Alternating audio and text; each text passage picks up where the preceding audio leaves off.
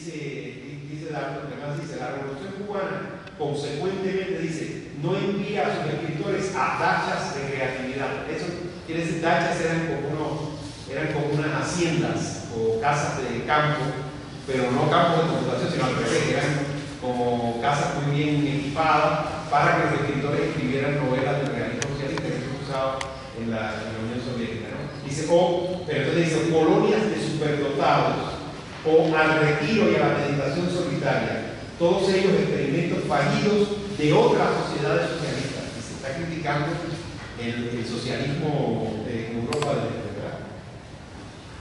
Él que había conocido, había, había, estado, había vivido en Praga y había compartido mucho, mucho de la atmósfera de la primavera de Praga. Él ya, en la época de la intervención soviética estaba fuera de allí, había estado antes, ¿no? Lo conocía muy bien ese ambiente, simpatizaba digamos, con las corrientes liberales checas que querían reformar el socialismo, la corriente de Alexander Dubček y todo eso.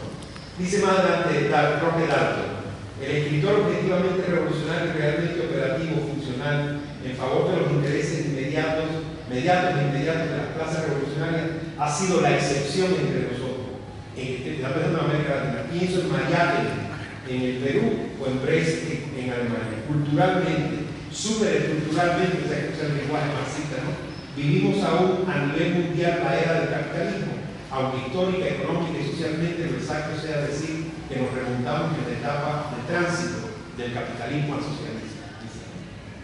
Eh, entonces dice, ya, ya pensando más en dice, realmente los hechos hemos escrito para los indios de Guatemala, de Perú o de Bolivia, para los obreros y los desocupados de México, Buenos Aires, es más, habríamos podido, podemos hacerlo, hay que ponernos la verdad frente a la cara como un espejo. Hasta la fecha, la inmensa mayoría, casi la totalidad de nosotros, hemos sido burgueses y hemos escrito para la burguesía. Cuando hemos llegado a sectores amplios del pueblo, ha sido generalmente por medio del populismo. O sea, que hemos llegado al pueblo históricamente mal. Dice, eh, aquí el arma abre como una especie de discusión con Cortázar que volverá cuando estudiemos la polémica Cortázar, Collazo, Vargallosa, que esa yo creo que es la polémica emblemática del, del tema ya de la vanguardia. De la, dice, dice, dice, dice dato documentado Cortázar. Cuando Julio Cortázar dijo en el año 63 que ciertas obras no accesibles a todo el mundo no solo no son ajenas a la revolución, sino que por el contrario, cito, prueban que existe un vasto sector de lectores potenciales en un cierto sentido están mucho más separados que el escritor de las metas finales de la revolución, de esas metas de cultura, de libertad, de pleno goce de la condición humana que los cubanos han fijado para, para admiración de todos los que los aman y los comprenden. Entonces dice, dice Dato, estuvimos de acuerdo con la verdad de ese concepto de Cortázar. Sin embargo, creímos que tal comprobación no dotaba ni a la literatura ni a los escritores de derecho alguno contra la realidad concreta en desarrollo, sino que por el contrario aludía al marco en que los creadores cubanos deberían ejercitar su responsabilidad y registrar los avances de su conciencia revolucionaria. Aquí hay una crítica al vanguardismo de Cortázar por parte del arte. O sea, lo que está diciendo es que no, pues sí, está bien que es cierto que hay un público que, es apto para leer eh, una literatura de vanguardia, pero el escritor revolucionario nunca debería darle espalda a la realidad concreta. O sea, que tiene que cuidar su vanguardismo, es lo que, es lo que está diciendo la ¿verdad? Entonces dice, sigue, sigue sobre eso, ¿no? Dice, sí, perdón.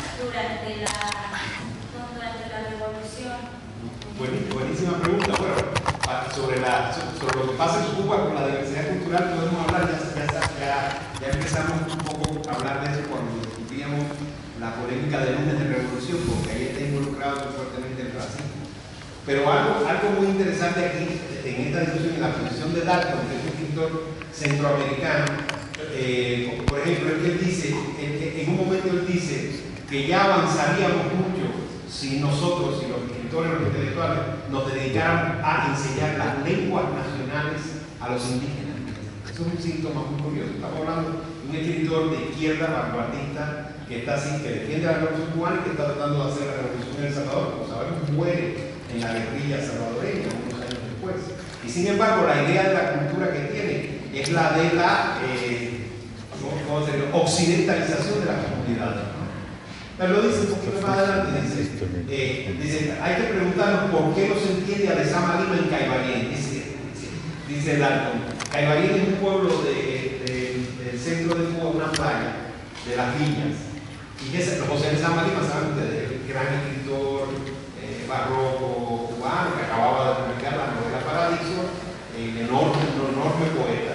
Y entonces dice, tenemos que preguntarnos por qué no se entiende a Lezama en Caibarien. Es decir, que los pescadores de Caibarien pueden, entender al Él dice, el poeta para escribir poesía actual debe ingresar como obrero en una fábrica de cemento. Dice, dice eh, más cercano, la solución es escribir décimas.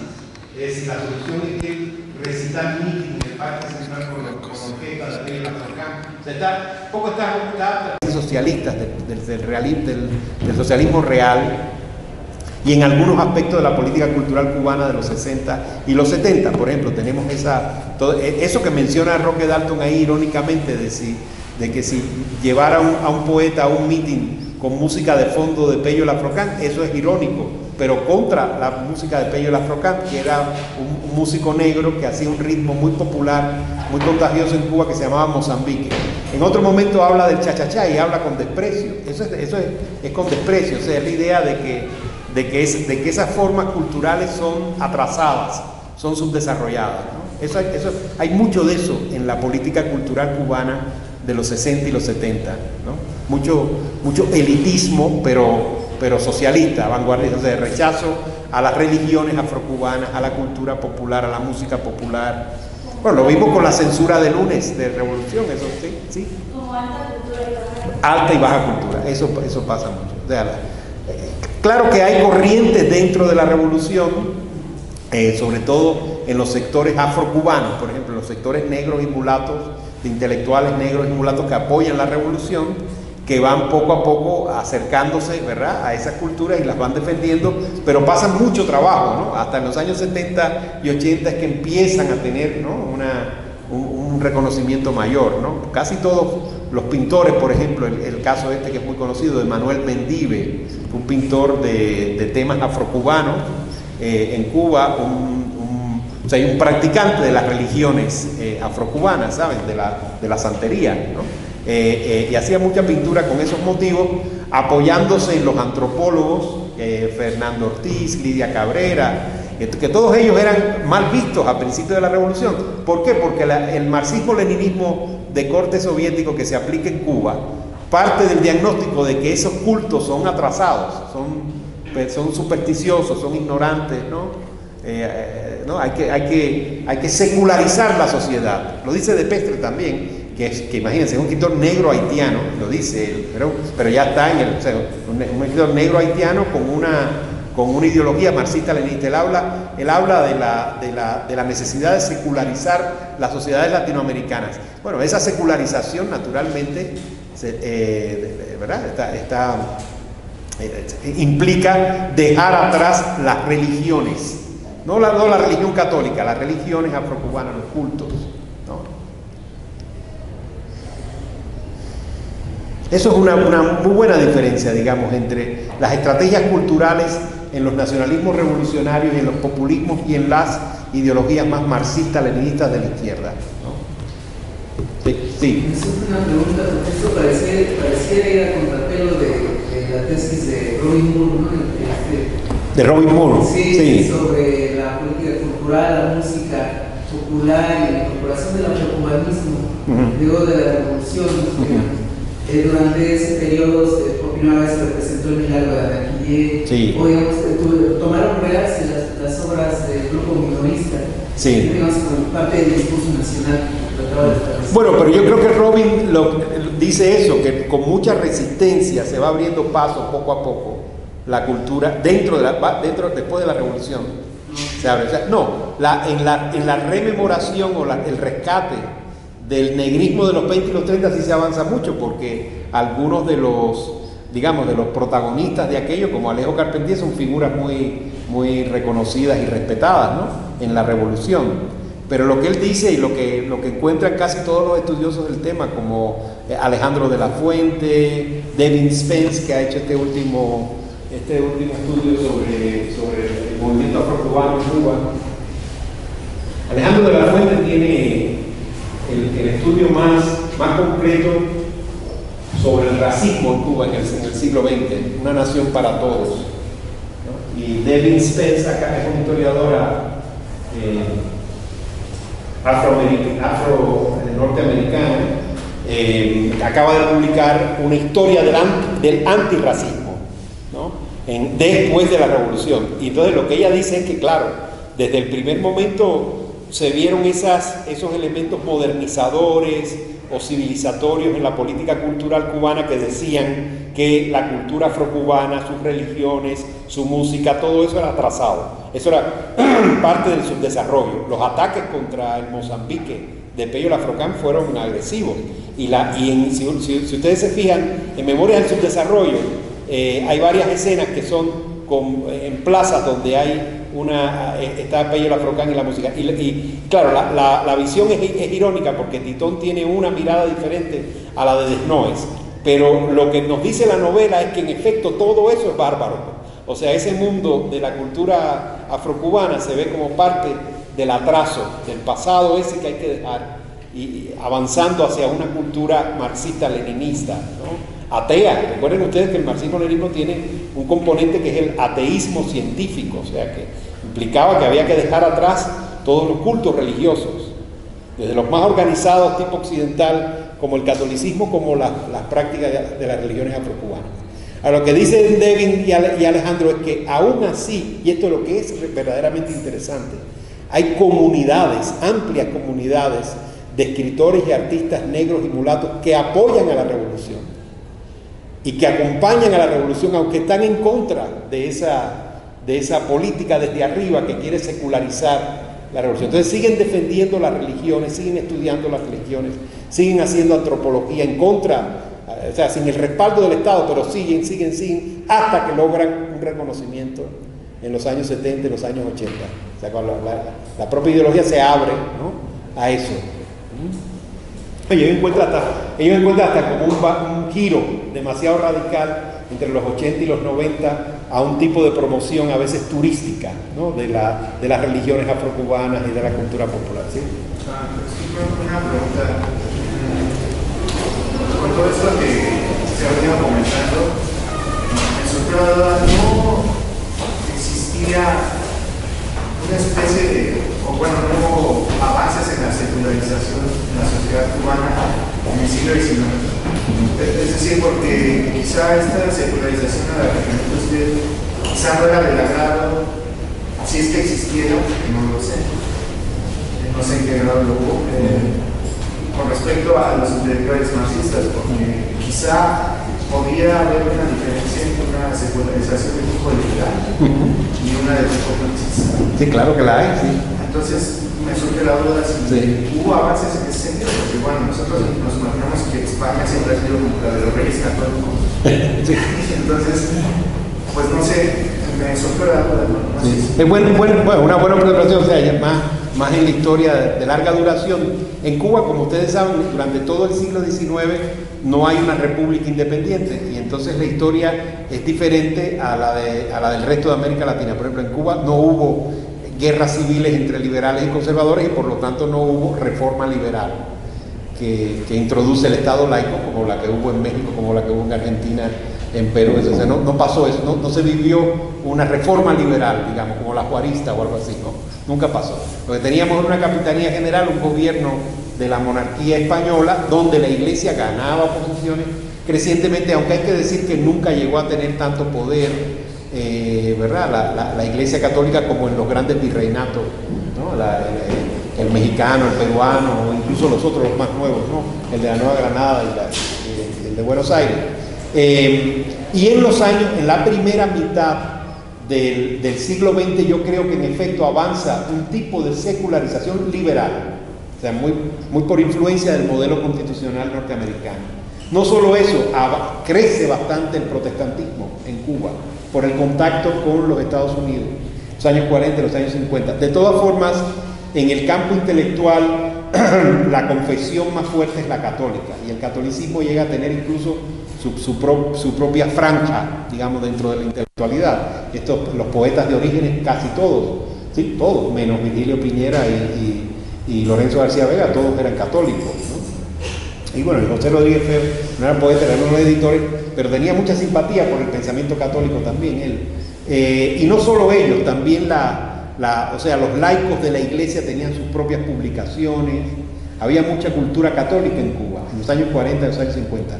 Ahora, la, revolución emprende, por cierto, que la cultura católica a su vez desarrollaba sus propios prejuicios hacia la cultura popular afrocubana, la cultura negra y mulata. Eso, eso lo ha estudiado muy bien Duanel Díaz para el caso de los poetas de orígenes, que tienen todos eh, imágenes y estereotipos muy racistas. ¿no? Rechazan la poesía negrita de los años 20 y 30 y muchas veces con mucho prejuicio. ¿no? Rechazo a, la- a las comunidades negras y, mulatas. Pero lo que es curioso es que la política cultural de la revolución en las primeras décadas plantea un, nuevo tipo de secularización que reproduce esos prejuicios católicos. Eh, replantea, digamos, el problema de la hegemonía blanca en la sociedad cubana, la, la revolución, en los años, solo en los años 60 y 70. Yo creo que eso cambia, cambia después, ¿no? Ya desde el final de los 70 empieza a cambiar, y más claramente en los 80 y en los 90, ¿no? Pero, o sea, la, o sea, que tu pregunta se responde, digamos, el, experimento de la revolución cubana se construye en un país sin tradición de secu- secularización liberal fuerte. Porque aunque avanzó en la época republicana, nunca tenemos una reforma, ¿sabes? Eh, así que limite el poder de la iglesia, entre otras cosas porque la iglesia nunca llega a tener tanto poder. La iglesia en Cuba nunca tuvo grandes propiedades, como pasaba en Perú o en México, en la época colonial ni después en la época eh, poscolonial. Llegó a tener mucha influencia, a tener mucha influencia en la educación. La, educación privada en, en- Cuba era, antes de la revolución, mayoritariamente católica. Sí, los, los jesuitas, los hermanos maristas, controlaban la, la- la- pública. La pública había mucho católico, pero era una educación laica. Crecía también por ahí, digamos, por influencia sobre todo del modelo constitucional norteamericano. Sí. Bueno, de la parte de Ramírez, o sea, me llama bastante la atención como ciertas preguntas que hacen. Ajá, a ver. Eh, ¿Qué función tiene la literatura en la sociedad revolucionaria? ¿Qué, qué puede la literatura, la literatura en la revolución cubana? no? Y pues en ese sentido igual plantear qué espera un cubano de un poema o de, de una novela, de un ensayo o de una obra de teatro. Entonces, pues eh, va desarrollando, ¿no? Como hay un derecho a la polémica, lo que menciona casi está por la página 43, creo. Ajá. Este, ajá, derecho a la, a la polémica, a la rebelión, ¿no? Y pues no sé, me parece bien interesante, o sea, cómo se puede ir eh, acoplando, porque menciona que toda esta cuestión, lo artístico, la creatividad y toda la creación cultural, como se le quiera llamar, pues debe de servir, ¿no? También para destruir, o algo así, va eh, la rebelión, para destruir las bases materiales y espirituales que nos ha mantenido, ¿no? Así, dice casi, tal cual, de su desarrollo. Exacto. Entonces, o sea, no sé eh, cómo puede ser más tangible, cómo se puede mirar eso, ¿no? Eh, los propósitos que tenían estos nuevos intelectuales que estaban, eh, que estaban realizando a su paso, ¿no? O sea, en dónde se, podía- se podía o se puede observar. Y pues algo que igual, como en esta misma línea va, es cómo debería ser el intelectual, ¿no? Sí. que, que dice que es un trabajador que participa en cuerpo y mente, Sí. en imaginación y sudor, y que se inserta dentro de la sociedad, si bien está como también la parte moralista cívica que menciona en algunas cuestiones, o sea, también habla como de la responsabilidad ethical, científica y estética. Y algo que llama mi atención pues es que eh, coloca como dignidad y estética, ¿no? Y yo pregunto eso. Ese es, sí, ese es el, el, meollo siempre del debate, o sea que, o sea, que qué tanto debe quedar involucrada la dimensión estética en la demanda de compromiso del intelectual. O sea, aquí claramente se está perfilando, entre todos ellos están tratando de perfilar una posición sobre ese tema, ¿verdad? que sería la posición, en resumidas cuentas, de Casa de las Américas en contra de otros. Uno, uno que sale muchas veces mencionado, por cierto, es Cortázar, porque la posición de Cortázar es otra. ¿cuál es la posición de Cortázar? No, el intelectual debe comprometerse con la revolución, pero no debe arriesgar la dimensión estética nunca. El, escritor debe ser siempre un escritor vanguardista. Y si tiene que escribir como Lezama Lima, escribe como, como Lezama Lima, que él defiende, él, es un defensor de la, estética de Lezama. Y si no lo entienden en Caibarín, no importa. O sea, en lo que le respondería, lo que Cortázar le respondería a, Roque Dalton, ¿no? Cuando dice, pero ¿qué hacemos si a Lezama no lo entienden los pescadores de Caibarín? O sea, Cortázar diría, no importa, ese es el arte y esa es la, ¿no? es, eh, es la posición de Cortázar. Y claro, como sabemos, no solo de Cortázar, eh, yo creo que es la posición de la mayoría de los escritores del boom. La diferencia entre Cortázar y los otros es que él piensa que el compromiso político sí debe ser incondicional, o sea, fuera de la estética, ¿no? Compromiso político. Ahí debe estar, el escritor debe volcarse al apoyo de la revolución. Y los otros, tipo Ángel Rama, eh, Vargas Llosa después, en esta época, no, Fuentes, piensan que incluso el compromiso político con la revolución tiene que condicionarse y si la revolución, por ejemplo, eh, comete un acto de injusticia, entonces el intelectual debe criticar a la revolución. Eso era lo que pensaban Fuentes, Paz, Emil Rodríguez Monegal, algo que no aceptaba Cortázar. Cortázar pensaba que si la, revolución cometía un exceso, había incluso que considerar callarse. O sea, si usted es un escritor vanguardista, revolucionario, que vive en París, y la revolución comete una injusticia, bueno, pues a veces es mejor callarse, no, no criticar a la revolución. Esa sería la diferencia de Cortázar con los otros. Pero ellos están discutiendo con Cortázar. Sale varias veces en la discusión por eso, porque, porque lo que no aceptan es esta idea de que la libertad estética es ilimitada, es decir, no tiene, no tiene límites. Y que, y que la experimentación estilística, o sea, los juegos verbales, armar una novela con una estructura eh, poliédrica o, como Eco decía, como una de las formas de una obra abierta, digamos, que es lo que es Rayuela, en resumidas cuentas, como novela. Eso, eso, eso no funciona en la, en la literatura revolucionaria. Y el, Fornet repite siempre la palabra función. ¿Cuál es la función de una novela eh, en la revolución? Ahora, me gusta mucho que haya señalado algo que, observarán ustedes si leen con cuidado el debate. Tal vez de todos los escritores el que es más enfático en la cuestión del subdesarrollo y de la colonización es de Peste. También tiene su explicación, ¿no? Lo dice varias, veces en su intervención, que es una intervención muy rica, ¿verdad? Eh, varias veces lo, menciona él, ¿no? Es un tipo de... Él está pensando él habla también, de, ya decíamos, de la secularización, pero él está pensando en un tipo de secularización humana ligada, o sea, de, liberación del hombre ligada a la superación del, Estado colonial y subdesarrollado. Un pensamiento muy caribeño, y eso tiene mucha sintonía con Franz Fanon, con las tesis de los condenados de la tierra y piel negra, máscara blanca, ¿verdad? Eh, por ejemplo, aquí dice, Dice, por ejemplo, al final más o menos de su intervención, dice, dice como, como lo ha dicho Roque Dalton, debe, debe, debe tener una actitud militante el escritor frente a ella, frente a la revolución, para poder expresar no solo las nuevas realidades sociales creadas por la revolución, sino también las estructuras emocionales de la gente, tal y como se manifiestan en la vida cotidiana de, los países coloniales. El hombre hace la revolución, pero la revolución hace al hombre también. O sea que la revolución descoloniza al hombre. Y esta creación recíproca no es fácil.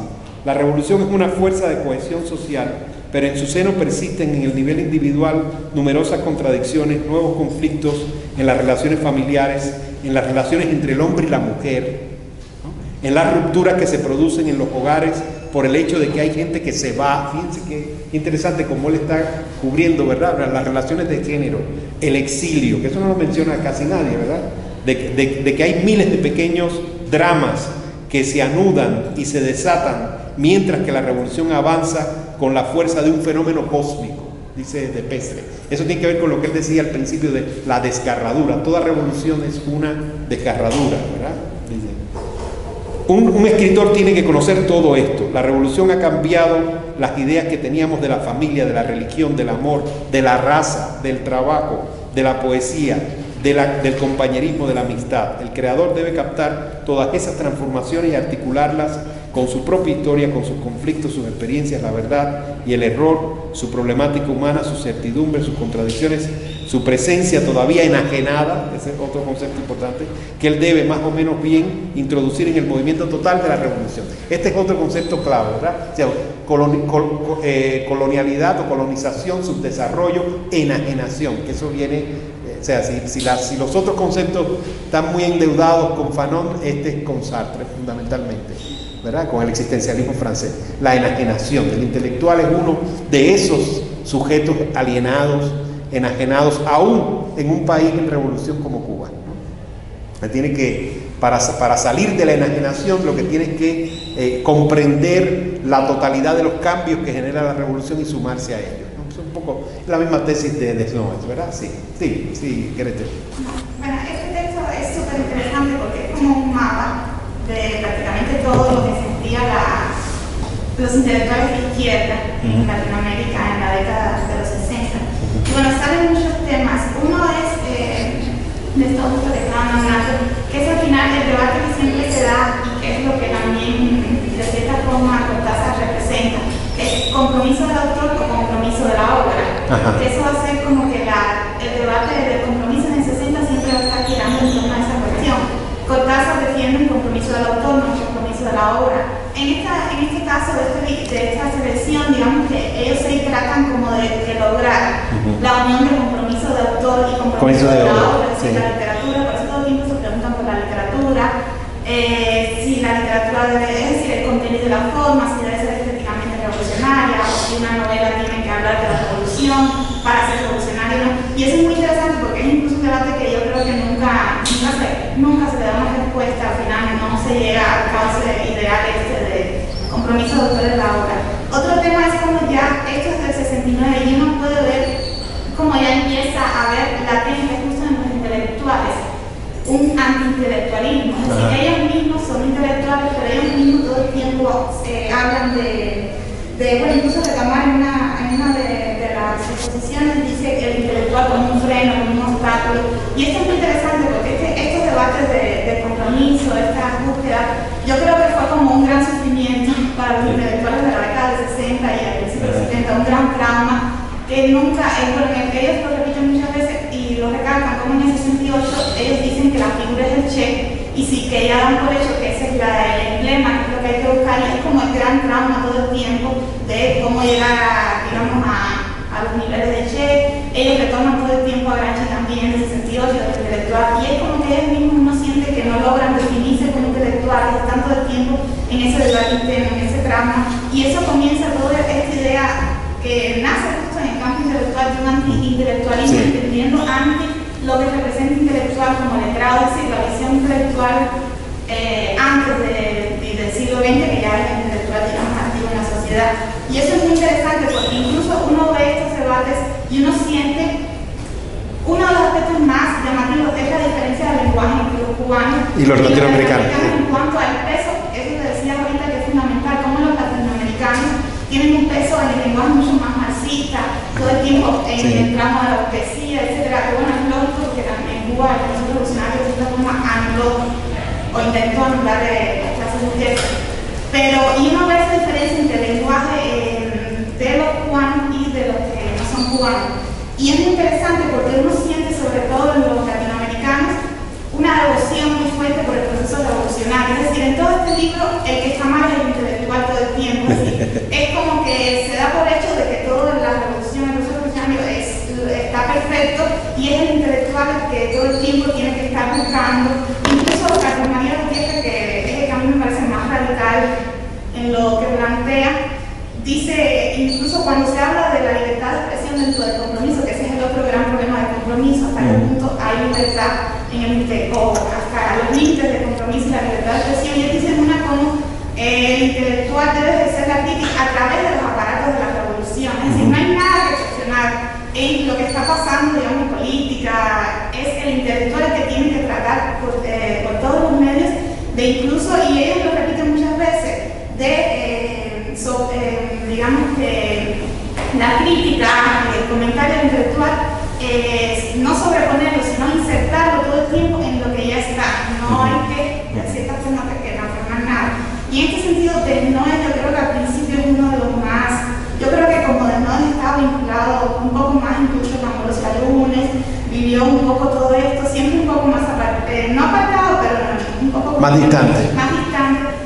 Eh, él, en la medida de lo posible, porque ya es el año 69 en Cuba, no es el 60, él habla al principio el tema de la libertad, y él dice cómo la ilusión de que en Cuba había libertad absoluta sin reconocer la exigencia de una sociedad de revolución. Es como que todo, es como que yo creo que el que más trata de tocar este tema de la libertad, y es muy interesante cómo las intervenciones detrás del no es no se toman No. este tema. Es decir, como que olvidan, o no sé si conscientemente o inconscientemente, este tema que trata de tocar el no y que ya después no, eh, me imagino que se dio cuenta que Sí. después no lo continuaba. Pero bueno, esos son, es como que muchos aspectos que se pueden Sí. ver y nada, el tema del compromiso es como que algo que ellos tratan todo el tiempo, tanto, tanto de resolver, que eh, no logran resolver y, y digamos que van eh, llevando la línea hasta un, ante una misma negación de, digamos, de, del intelectual. Sí. Yo, yo creo que, que de Noes y Fornet están diciendo lo mismo. Aquí hubo mucha libertad y, la crisis de lunes de revolución y las palabras a los intelectuales de Fidel no- nos, despertaron de ese sueño. No, no puede haber tanta libertad en una revolución porque se requiere ¿no? de compromiso, de demanda. Entonces ya, ya, ya vimos, en una revolución estamos en una plaza sitiada, estamos en una, ¿no? en un- eh, amenazados por el enemigo interno, por el enemigo externo, no podemos, no se puede producir una cultura en los mismos términos que en cualquier otro país capitalista occidental. y tú tienes mucha razón en, el aspecto este antiintelectual que se manifiesta del, modo más preciso en la idea de que el verdadero intelectual es el dirigente revolucionario o el ideólogo de la revolución, específicamente Fidel Castro y el Che Guevara, que son los dos ejemplos que se re- repiten siempre, ¿no? Ese es el, el que cumple el rol del intelectual, es el del ideólogo de la revolución. ¿Quién es el ideólogo de la revolución? El, dirigente, ¿no? Y entonces ellos son los que asumen, han desplazado al intelectual en sus funciones, es el verdadero intelectual.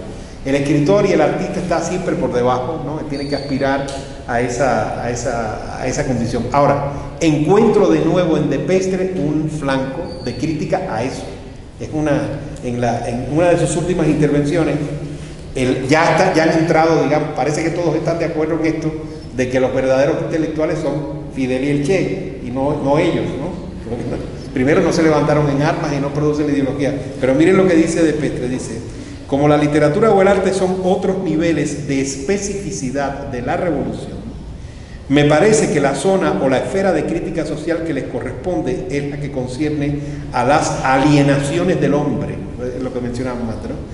Eh, antiguas o nuevas, en la lucha revolucionaria por una comunicación humana más rica y más grande en las nuevas relaciones que son establecidas entre los miembros de la sociedad. Dice, no olvidemos, sin embargo, que si la, si la revolución, los aparatos de la revolución, en primer lugar, el Partido Comunista y sus dirigentes ejercen su conciencia crítica, lo hacen, cito aquí, fíjense bien, con conceptos precisos, necesariamente utilitarios, pedagógicos, eficaces, de verdaderos instrumentos ideológicos. Ahora, la literatura, en cambio, recurre a imágenes, símbolos, alegorías, sueños, que no son reductibles solo a la ideología revolucionaria. Yo creo que esa es la frase, la frase más fuerte, más desafiante de todo el debate. Dice, la literatura no se puede reducir únicamente a la ideología revolucionaria.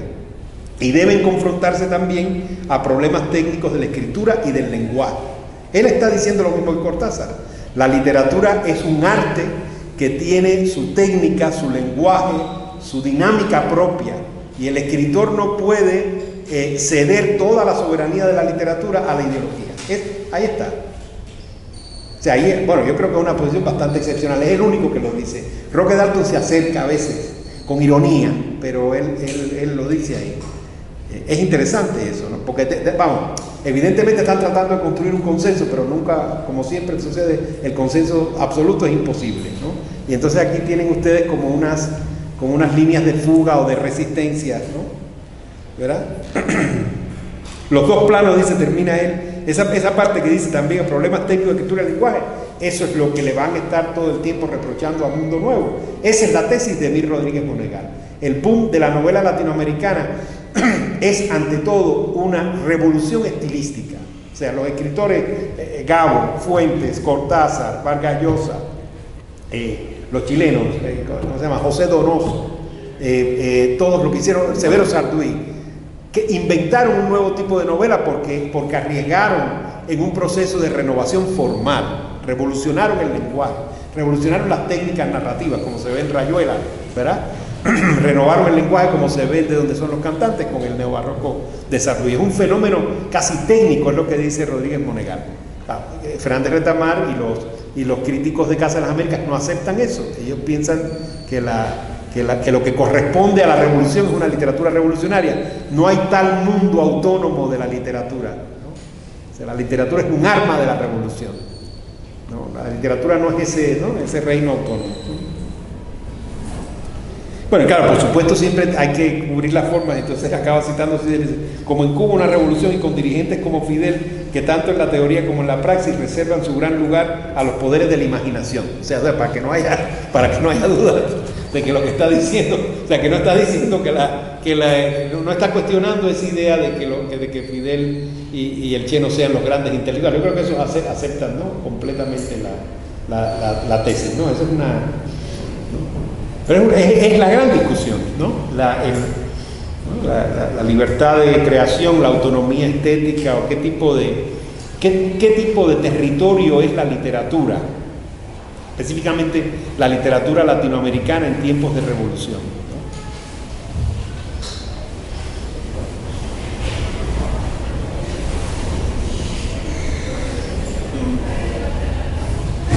En el caso de, ustedes saben, esa, esa idea de, de Fidel y el Che como los intelectuales, eso estuvo muy difundido dentro y fuera de Cuba, en América Latina, que en el, en el caso del Che eh, siempre tuvo como una ruta eh, propia, por el hecho de que el Che Guevara él mismo fue poeta y escribió poesía, y él mismo fue un teórico, es el Che. El Che Guevara fue un escritor de, de teoría, evidentemente. El socialismo y el hombre en Cuba es un ensayo de teoría latinoamericana, cosa que yo creo que no se puede aplicar a Fidel. ¿no? Fidel no es autor de un texto, eh, de un solo texto que uno pueda decir, aquí hay una contribución a la teoría. De la, ¿no? Bueno, no sé, a lo mejor algunos de ustedes sí lo creen así, pero no... Si tenemos la, la, teoría como, como un ejercicio de escritura, de construcción del lenguaje basado en conceptos, eh, que entra además un en una polémica eh, intelectual bien ubicada. El socialismo y el hombre en Cuba es eso. Es una discusión sobre cómo eh, construir el socialismo, cómo entender el marxismo, cómo eh, aplicar una política cultural en sociedades de cambio. Es un debate con mucha gente a la vez, ¿no? con, los, con los marxistas soviéticos por un lado, con la, con la teoría económica del desarrollo, que la, ¿verdad? que comenzaba a desarrollar, lo mismo la practicaban el grupo, los marxistas de la, de la escuela de la teoría de la dependencia y los, los trotskistas, los marxistas eh, occidentales heterodoxos. Es, una, es toda una interlocución con muchos sujetos a la vez. Y, es, y es una cuestión de lenguaje. No hay un texto de Fidel donde se instale eh, la discusión al nivel conceptual de la teoría marxista. Vamos a ponerlo así. Fidel es un, es un lo, que, lo que hace Fidel son discursos políticos, ya desde coyunturales, muy contrastados de estrategias para la lucha de la izquierda ¿no? en América Latina, para el avance de la revolución, pero no, no se coloca al nivel del debate teórico, conceptual del marxismo. Que no solo, y en el Che hay varios textos, no solo en el socialismo y el hombre en Cuba. Ustedes ven, por ejemplo, el diario del Congo, del Che en, en Bolivia, es a la vez un diario y una discusión intelectual sobre el problema de la, la, la revolución en, en, África. Eso es, o sea, con la, ¿verdad? con la composición social, la estructura económica del Congo belga después de la, después de la, de, la, descolonización de Patricio Lumumba.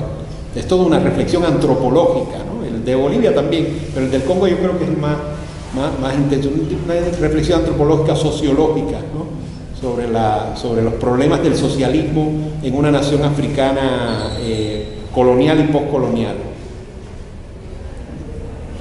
Entonces eso era, más, fácil, muchos de ellos, uno, lo ve por ejemplo, en el caso de Roque Dalton había una gran admiración por el Che como, como todo, o sea, como revolucionario, guerrillero, pero también como intelectual. Y, la, y él, entra en la discusión entre el Che Guevara y Regis Debray, que es una discusión otra vez práctica y teórica a la vez, porque no se trata de una discusión sobre cómo organizar una guerrilla en América Latina, pero también cómo pensar las relaciones entre el Partido Comunista y la guerrilla, o entre la guerrilla y el campesinado, eh, la, cuestión de, la industrialización y el movimiento obrero en los países latinoamericanos. ¿no? es toda una reflexión teórica. Ahí uno ve por eso la participación de, Dalton en eso. ¿no? Pero no, es, un punto clave de la, discusión, es algo que repiten en una zona u otra del, debate. Bien, no sé si, si, alguien quiere comentar algo más sobre la, sobre la discusión sobre el intelectual y la sociedad. Hay algo que sale aquí muchas veces, que es la crítica, no se ve tan claro aquí como en otros textos que veremos, que es la crítica a esta idea del intelectual como conciencia crítica de la sociedad. Esto es una idea que, claro, que en América Latina eh, se tomaba mayormente de Sartre y el grupo de tiempos modernos en, Francia. Eh, eh, Fornet lo dice al principio, ¿no?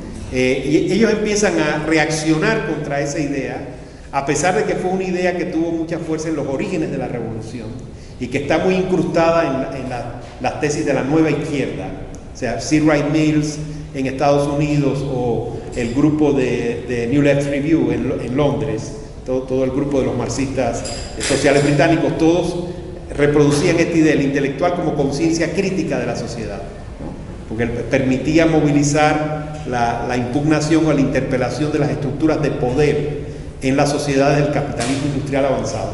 Y todo eso venía naturalmente de, Gramsci, que fue una lectura básica de todos esos marxistas occidentales, ¿no? de los 60 y los 70. desde La Habana, creo yo, se empieza a articular una, una refutación a esa tesis del intelectual como conciencia crítica, defendiendo más la, idea de que el intelectual es un soldado de la revolución y, esta invitación a, sustituir o a reemplazar las letras por las armas, digamos, eh, y que tiene que ver con lo que, decía Gretel sobre el antiintelectualismo. En resumidas cuentas, si el modelo del intelectual latinoamericano es el Che, lo que debe hacer un intelectual en revolución es dejar las letras por las armas, irse a la guerrilla. Eso al final será lo que defenderá eh, Dalton. Dalton. Personifica esa ruta de, avance, de transformación del intelectual latinoamericano en guerrillero, en resumidas cuentas. ¿no? ¿Sí? No, esas dos cosas. Una, que también este libro yo siempre lo veo como una respuesta al Congreso Cultural de La Habana de 68. Porque es que, bueno, después ellos incluso... Algunos, algunos citan cosas del Congreso, pero, pero, pero, es verdad, quieren, están en, van contra.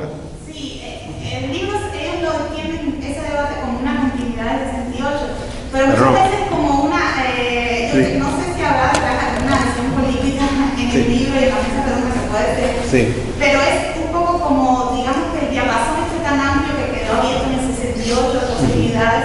En este libro se trata como que tal vez de, de cerrar y decir, no, no es tan hacer revistas por todas partes, criticar todo. Y es interesante porque si uno tal vez se pusiera eh, muy, muy radical, por ejemplo, si uno subiría una lectura muy, muy del libro, el libro puede ser hasta como un antimanual del intelectual. Así es, así es. Porque supuestamente el concepto de intelectual nace como, en el caso de es decir, una crítica a algo que esté mal pasando, generalmente político, es decir, todo lo que hizo Sola, que criticó que, en fin, todo lo que pasó con el caso de Y es todo el tiempo, eh, esto lo recordaba por eso de la conciencia crítica, es en última instancia la, la esencia del intelectual, la mejor forma o es decir, el concepto del intelectual es muy pero bueno, en algo que sí se coincide generalmente es el tema del compromiso, el tema de conciencia crítica, el tema del hombre cultural puesto en una situación política y que la mejor forma final del intelectual es estar situado y criticar lo que sea que esté mal. Es decir, en última instancia,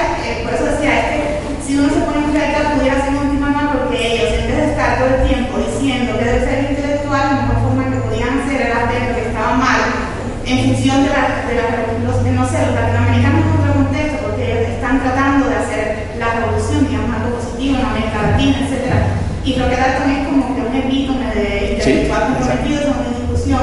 Pero, por ejemplo, en el caso de los cubanos es un poco diferente, porque ya la revolución estaba hecha, supuestamente, y el objetivo de un intelectual sería, como conciencia crítica, contribuir no solo como el sino también criticando todo lo que está sucediendo. Y en ese sentido, este libro tiene muchas paradojas. Sí. Sí, pero va, va hacia allí, aunque como decíamos, con eh, fisuras o fugas o resistencias. Por ejemplo, Fornet, que, que pone muy bien la pauta de la crítica a, a la primera etapa de la revolución, digamos, al momento de lunes, al igual que Desnoes, eh, en un momento él reivindica el espíritu del Congreso Cultural de La Habana y la, la- la insistencia en Gramsci y todo eso. Pero es verdad que hay otros, Fernández Retamar, eh, Gutiérrez y otros, que, la, que evidentemente lo que están es poniendo en duda la tesis de el intelectual como conciencia crítica y están cuestionando a la vez a Gramsci y a Sartre porque ven, la idea del compromiso intelectual eh, sartreana como un desarrollo ulterior de la noción del intelectual orgánico de Gramsci, que, es- eso, concien- conciencia crítica de la sociedad, pero desde, una, desde un compromiso específico. Y como sabemos, no un compromiso de clase estrecho, como es en el caso de Gramsci, porque Gramsci eh, comprendía muy bien la cuestión nacional, por ejemplo. ¿no? Había, era una, no no era una- el, compromiso, la idea del compromiso eh, de- del intelectual en Gramsci eh, eh, asimilaba distintas capas de la sociedad civil. No era el tipo de compromiso, digamos, de un escritor obrero, como, como en algunos textos de Lunacharsky. Todo lo contrario, o la polémica de Gramsci con Bukharin pasa por ahí. Bien, entonces, si quieren, bueno, vam- vamos a dejarlo aquí, esta, volveremos a esta discusión constantemente en el curso, pero entonces lo que les propongo es que el próximo miércoles ya entremos directamente en el debate entre Casa de las Américas y Mundo Nuevo, que son estas dos revistas rivales entre 1966 y 19 esta- estos años más o menos, 1966, 1971 eh, son estas do- dos revistas que proponen otra vez dos ideas eh, del intelectual en América Latina, dos ideas de la literatura revolucionaria en América Latina y específicamente dos ideas sobre la novela latinoamericana en tiempos de, revolución. Eh, van a tener unas dos o tres lecturas, ¿verdad? Pero no, va, no o sea, vamos a leer capítulos de libros eh, muy especializados sobre esta polémica que como verán ustedes reproducen la polémica, porque si nos metemos en la, la polémica sería eh, in- es inmenso, ¿no? Son muchos textos. eh, pero bueno, ahí lo verán ustedes las lecturas. Yo escogí los pasajes en los que discutimos más específicamente la novela. ¿Qué es, qué es el boom de la, qué es la nueva novela latinoamericana? El término de boom lo ponen a circular eh, los editores de, Mundo Nuevo. Ya circulaba desde principios de los años 60, pero le dan, digamos, lo naturaliza el grupo de Mundo Nuevo, especialmente el director de la revista, que era el crítico uru- uruguayo Emir Rodríguez Monegal, que era, bueno, para, acá tengo un antecedente que es muy importante. Rodríguez Monegal en realidad era un experto en la literatura de Jorge Luis Borges. O sea, no, o sea, una, un, escritor, eh, eh, Borges, un escritor que no podemos asociar de ningún modo, digamos, con el campo revolucionario en América Latina, ¿no? Pero muchas de las ideas de, Rodríguez Monegal sobre las ficciones de Borges las traslada él a la identificación de lo que él llama el boom de la nueva novela latinoamericana, que tiene cuatro figuras claves, ya, ya lo hemos mencionado aquí fundamentalmente, igual son Gabriel García Márquez, Carlos Fuentes, Julio Cortázar y Mario Vargas Llosa, pero también él le llama las cuatro grandes máquinas de escribir, o la, la- fábrica de, escribir, como él decía. ¿no? Entonces luego viene to- todo lo que rodea al boom. ¿no? Y claro, en esa teoría de la novela latinoamericana hay muchos elementos eh, de la ideología misma de la revolución. Eh, por ejemplo, la descolonización, el abandono del subdesarrollo, la defensa de la identidad eh, latinoamericana, pero también había elementos que establecían una, una fricción o una poca sintonía, podríamos decir, con, las, con, las, con los valores ideológicos de la revolución, sobre todo lo que tenía que ver con la experimentación formal, con, el, con, la renovación estilística, con, con, la alteración o la innovación, el juego, el juego verbal o la, experimentación con las técnicas narrativas, que era mucho, que es un gran tema de tanto de Gabo como de Fuentes, toda esta idea de que el tiempo de la historia latinoamericana requiere para ser tratado en la ficción un juego, ¿verdad? Con la temporalidad, lo cual desemboca con algunas, algunas ideas sobre el barroco y el neobarroco de Carpentier, de Lezama y de otros, ¿no? Ahí es donde viene el problema, porque entonces la novela misma se está, se está entendiendo como, eh, como un experimento, en resumidas cuentas, del lenguaje, experimento estilístico que no necesariamente resulta funcional para la literatura que la ideología de la revolución defiende. El problema que planteaba, que, planteaba Roque Dalton cuando decía que Alezama no lo entendían en, los pescadores de Caibarín. Entonces ¿para quién se escribe esa nueva novela latinoamericana? Entonces ahí vienen, empiezan las críticas. En Casa de las Américas veremos muchas críticas a la, a, la, definición estética de la novela latinoamericana, muchas insistiendo en esto. ¿Para quiénes escriben los escritores del boom? Ah, bueno, para las clases altas eh, de, París, de, Londres, de Nueva York, para, este, para estas élites occidentales que consumen ese tipo de literatura y no necesariamente para las comunidades, para los obreros, para los campesinos que están haciendo la revolución en América Latina. Por ahí, esa es una de las vías por la que pasa la discusión, pero no la única. Entonces, eh, vamos a tratar de reconstruir ese debate entre 1966, 1968, 69 y, tratar de llegar a algunas conclusiones sobre esa polémica, típicamente, polémica típica de la Guerra Fría, y yo diría que es la polémica que introduce también otro elemento clave aquí, que es el de los grandes poderes globales eh, detrás de la cultura en América Latina. Porque ustedes verán que esta es una discusión que involucra el tema del financiamiento de las publicaciones, y del papel de los grandes poderes globales. La CIA, por ejemplo, Washington, Moscú, la Unión Soviética, el respaldo de los soviéticos a la Revolución Cubana y, a través del Estado cubano a la revista Casa de las Américas y el respaldo de la Fundación Ford y grandes fundaciones norteamericanas a Mundo Nuevo, al Congreso para la Libertad de la Cultura. O sea que ahí tenemos realmente la Guerra Fría en la cultura, ahí sí se manifiesta en esa discusión, ¿no? No solo es una, cuestión de definir qué, es la literatura revolucionaria en América Latina o qué era el PUM, cuál era su nómina, quiénes eran los escritores más representativos. Es un reproche muy frecuente de Casa de las Américas. Dice, bueno, Mundo Nuevo, esa es una revista, recuerden, que se, que se editaba en París, donde vivían, eh, muchos de estos escritores tenían residencia entre Barcelona y París, y entonces allí era que lanzaban la, la revista. Y entonces, claro, en Casa de las Américas, desde La Habana, decían, bueno, pero nos están imponiendo una nómina de escritores latinoamericanos que necesariamente no es, no es la que nosotros consideramos más representativa, ¿no? Es la, sobre todo más representativa de lo que sería una literatura revolucionaria. Ahí viene un choque, ¿no? que, es interesante reconstruir. Pero además tenemos este problema realmente de la presencia de los grandes poderes globales de, la, de las potencias de la Guerra Fría. Ahí está, claramente la Guerra Fría en la cultura, en esa discusión. Muy bien, entonces vamos, eso es lo que veremos el, próximo miércoles. Y, luego, como les decía, vamos a saltarnos el tema del, marxismo crítico y el marxismo soviético, y para, no, perder la, para no perder el ritmo de las, de, la, de, las 16 sesiones.